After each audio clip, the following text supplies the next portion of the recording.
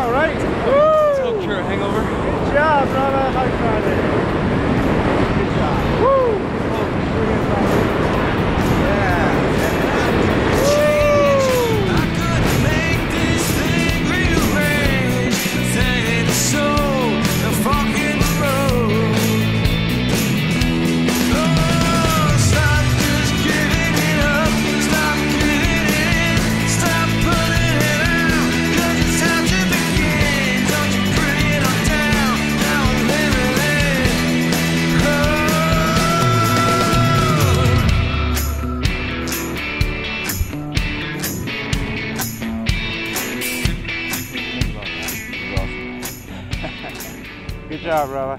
Thank you. Awesome.